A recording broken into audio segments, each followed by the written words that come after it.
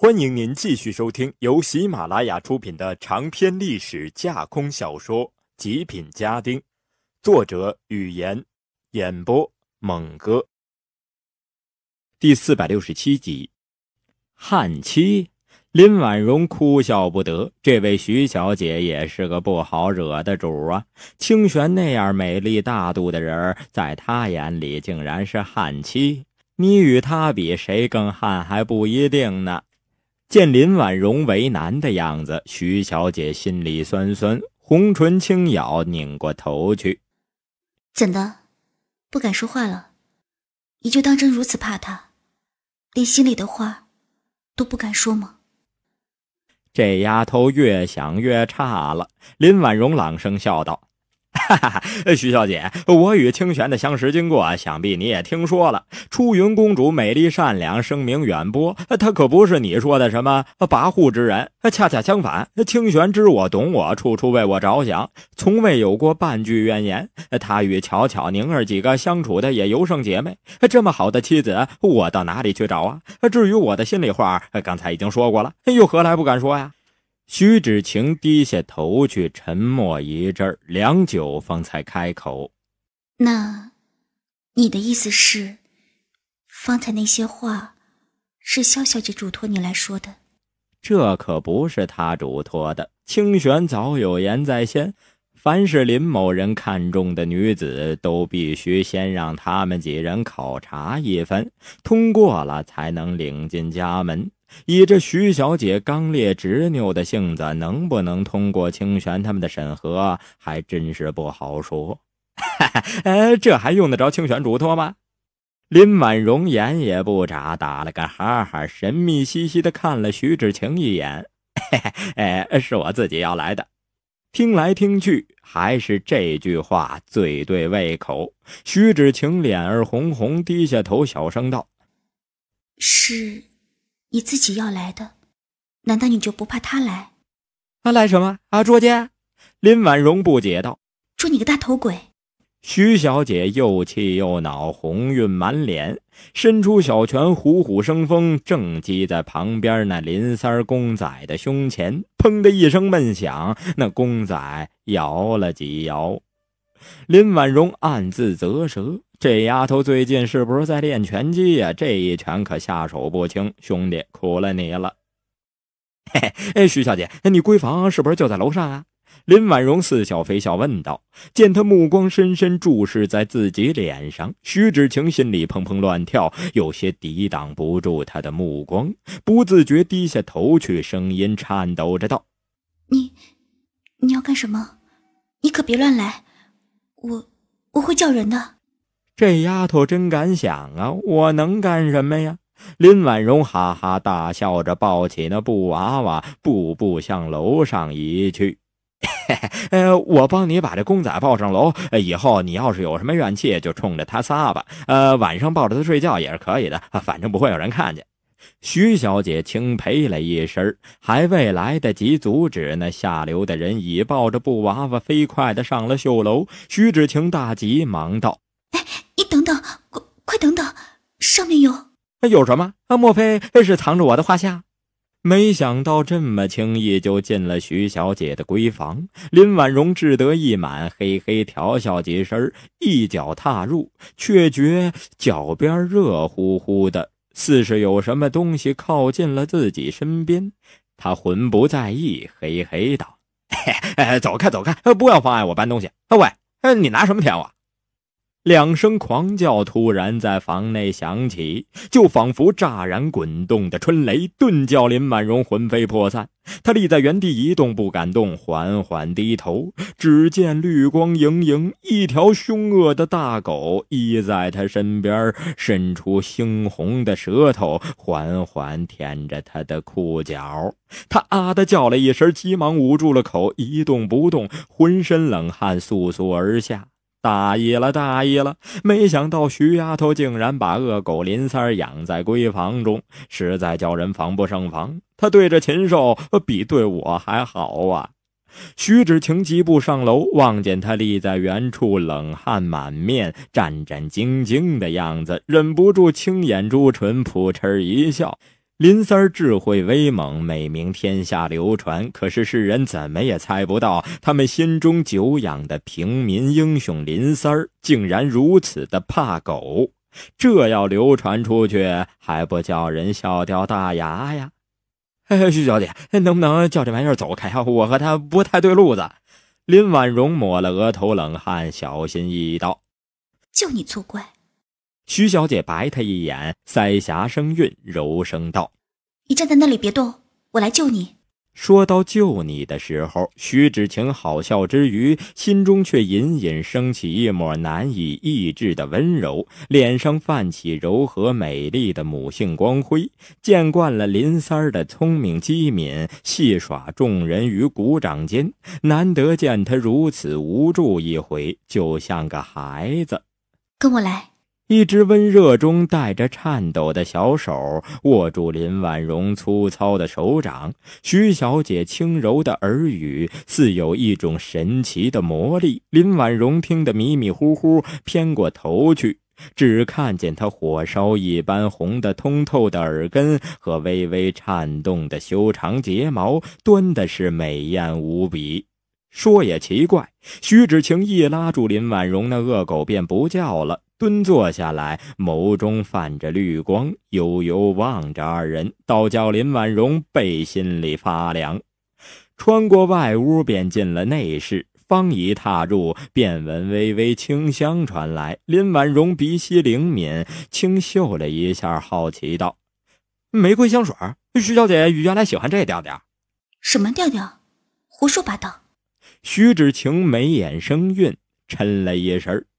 这是郭姨送我的，原本不知这香水是你这坏人所制，待到知晓了，却推辞都来不及了，我便喜欢上了这味道。林婉容长长哦了一声，眉开眼笑道：“哦，原来徐小姐和夫人是同道中人，都喜欢这浓郁玫瑰型的。了解了解。”徐芷晴自是难解他话中寓意。他又是个勤奋好学的人，闻言忍不住轻皱秀眉。柔声道：“喜欢浓郁玫瑰型，怎么了？这香水难道还有个划分吗？”这便是徐小姐的闺房，屋内唯有一张方凳，便在梳妆柜前摆着，镜中映着二人面颊，一个粉红芳香，仿如三月桃花；一个嬉皮笑脸，似是山中泼猴。都这般时候了，还不肯做个正经脸色，讨厌死了。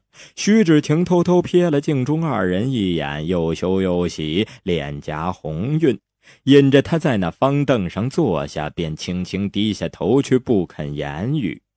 屋中一道轻纱白幔遮住粉红的象牙床，隐隐露出床上的粉被玉枕。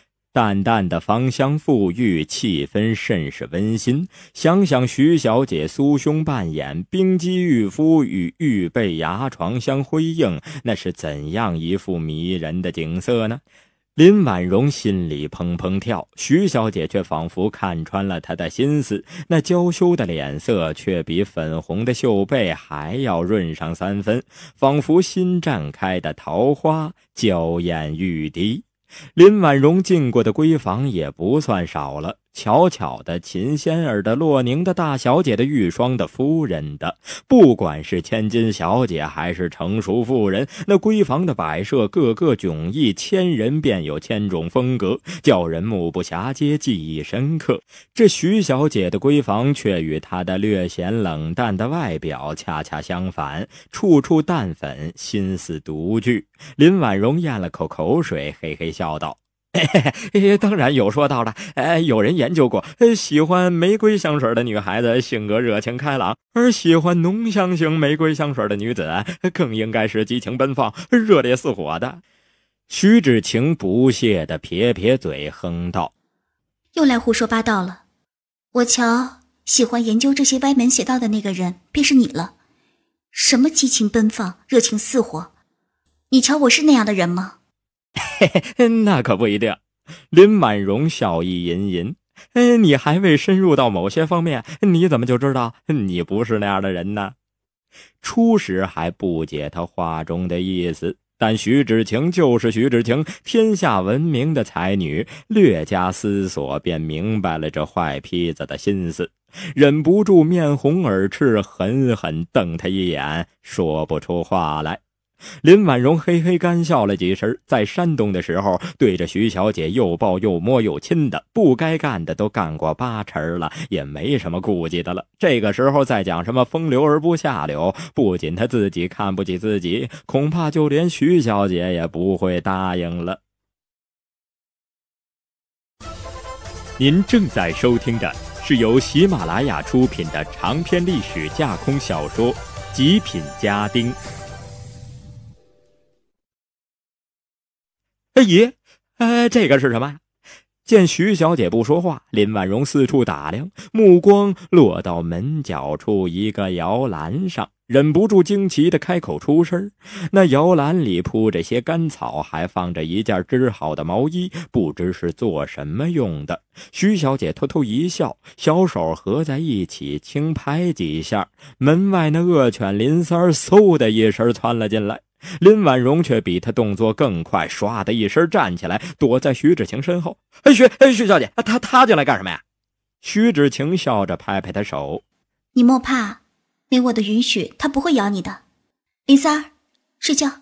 林婉容愣了一下：“不会吧？徐小姐叫我睡觉，在她闺房中就这么一张象牙床，又是光天白日的，难道她也有和我一样的爱好？还愣着干什么？”快睡啊！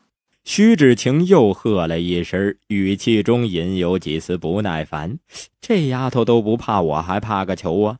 林婉容哦了一声，直直往床上躺去，嘿嘿笑道：“嘿，好的，我听你的话，睡好了。哎，徐小姐，哎你也来呀！”乍听身后的人声。徐芷晴吓了一跳，待看到林婉容躺在自己绣床上，她脸颊刷得通红，急急将她拉起，颤声道：“你，你干什么？要将爹爹和姨娘看见，我如何还说得清？你这坏蛋，你是要害死我呀！”哎哎，别别别哭啊！见徐小姐泪珠簌簌落下，林婉容也不知道是哪里招惹她了，忙道。不是你叫我睡觉的吗？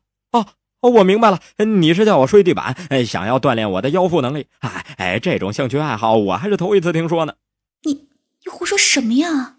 徐芷晴羞恼交加，回想起方才自己言行，这才意识到里面大大的有问题，泪珠落得更急，却又有些想笑，纤纤玉指指着那恶狗道：“我，我是叫他睡觉，不是你。”那恶犬早已扑进摇篮，一只狗头神奇的伸进的毛衣从脖子里穿了出来，两眼微闭，远远看去便似是在假寐。我他妈真冤呐！林婉容有苦说不出，闹这样的误会可不是一回了。怪就怪这徐小姐取什么名字不好，偏就要叫林三儿呢？三哥的名字是你能叫的吗？没事吧？见林婉容脸上神色阴晴变化，徐芷晴想笑却不敢笑，心里却是无比温暖，偷偷握住了她手，轻声问道：“哎，没事。”林婉容恨恨道：“没想到这位林三兄享受到的待遇如此之高，连睡觉都还穿着毛衣，实在叫我等羡慕。”徐小姐，冒昧问一句，这毛线衣是你织的吗？徐芷晴转过头去，羞涩的轻嗔一声：“不告诉你。”这禽兽竟然穿的是温暖牌。徐小姐的态度便说明了一切。林婉容咬牙切齿，见那恶犬睡得乖巧温驯，又有徐小姐在身边，想来她不敢对自己怎么样。她嘿嘿了两声，偷偷伸出手去扯了一下恶狗身上的毛衣。“你做什么？”见他模样，徐芷晴又好气又好笑，心里却老是奇怪：自己年纪也不算小了，平日里也是人人称赞的成熟稳重，为何遇到这坏坯子，便似是完全迷失了自己，跟着他哭，跟着他笑，跟着他打闹，偏还乐此不疲？真是个奇怪的问题。林婉容干笑两声，没有回答，警惕地望着那假寐的林三儿，手上动作甚是轻缓。徐志清脸儿发红，有心阻止，却寻不出个理由。恶犬林三儿似是没察觉到他的动静一般，躺得安安静静。林婉容瞧得胆气大壮，手腕一抖，便将那毛衣自他头上扯了下来。恶犬嗷呜一声，眼睛翻了一翻，见徐小姐羞涩不已，根本没空搭理自己，便又闭眼睡去了。好惊险呀！林婉容拍了拍胸脯，脸上神情甚是得意。待到望见那毛线衣，却是愣了一愣。这毛线衣手艺精美，长长宽宽，衣袖齐全，怎么看都不像是给那恶犬织的，不合他身儿啊，倒像是给我量身定做的。哎，这么好的东西，还给那禽兽穿，浪费，太浪费了。林婉容提溜着那毛衣，对着自己身上比划，越看越是合身，忍不住的摇头感叹。徐小姐眼眶湿润，泪珠盈盈转动，瞬间便要滴落下来，忽的一下扯过那衣衫，轻气道：“不要你管，我便是给禽兽织的，与你没什么干系。你快给我！讨厌，讨厌！”不管她是多么出色、多么智慧的女人，终究还是女人，许多小脾气都是相通的。林婉容感叹一声，搂住徐芷晴娇躯，在他耳边轻笑道：“嘿 嘿，不是不识好歹，是你没有告诉过我，我也不知道啊。是你心里根本就没有想起过我。我从山东就开始织了，你却从来不知道。我恨你，我恨你。”徐芷晴仿佛火山爆发了般，泪珠滚滚落下，对着那林三公仔给了几小拳，却又觉得不解恨似的，小拳连绵，如疾风暴雨般向眼前的真林三胸口捶去。从山洞就开始了。时间真的不短了，林婉容心里有愧。那时候正忙着捞银子，又忙着和宁儿做一些深入研究，还真是没有功夫去关心徐芷晴的感受。徐芷晴倔强的嗯了一声，泪水缓缓流淌，喃喃道：“你那夜闯进宁儿的房间，还把我当做了她，对人家那样，我，我恨死你了。”徐志晴咬牙切齿，眉目熏红，眼中却是流过淡淡的温馨留恋。自第二日开始，我便偷偷开始织线钩针，便只有一个想法：我要在这个衣里面装满钢针，刺死你这个坏胚子。徐小姐又哭又笑，神情酸楚。那时候，我要瞒着所有人，要瞒着你。更要瞒着那鬼灵精怪的宁儿。他行路的时候，我与他说话；他安眠的时候，我便偷偷的忙活。一路自山东回京城，便没睡成一个安稳觉。真不容易呀！瞒过别人或许不难，可洛才女是何等人？那是比狐狸精还精的狐妹子呀！一有风吹草动，哪能还不发觉了呀？正自感慨着，却听徐小姐的语速越发的激烈了起来。便是我徐芷清时运不济，那日快要完工之时，却是逢了萧小姐。我要将这东西送与你，约你过府。你这坏胚子，却又那般对我，我便拿着东西做了狗窝。你这坏胚子，我恨死你了！你快出去！徐芷晴生性刚烈，泪珠滚落，激愤之下，竟是真的将他往外推去。林婉容与徐小姐相交也不是一日两日了，深知她的性子。原来这里面还有这么多的曲折，难怪徐丫头有这么多怨恨呢。待到快要被推到门口，她才在徐芷晴的耳边轻叹道：“哎，芷晴啊。”我可是第一个进入你香闺的男人，你忍心就这么赶我走啊？你才不是第一个呢！徐芷晴芳心一软，身子顿时柔了许多。不是第一个，在我之前还有男人来过。林婉容愣住了。笨蛋！见他酸酸的模样，徐芷晴心里说不出的甜蜜，却是毫不犹豫的将他推下楼去。第一个是我爹。哎呀，我怎么就变笨了呢？林大人一拍巴掌，如梦初醒般急跳起来，额头却正撞在旁边的假山上，砰的一声大响，就连那绣楼上偷偷打量他的徐小姐都听得一清二楚。傻子！他羞羞的捂住面颊，满心的甜蜜幸福。听众朋友，本集播讲完毕，感谢您的收听。